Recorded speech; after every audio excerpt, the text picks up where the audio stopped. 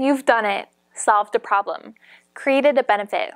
Social proof works like this.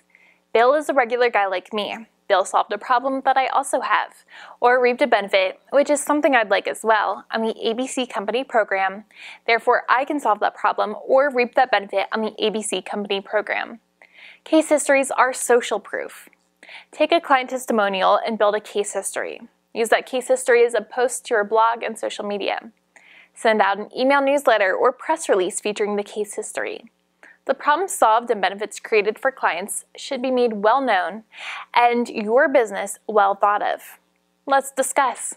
Tom at number one on the list.com, 917 338 9586.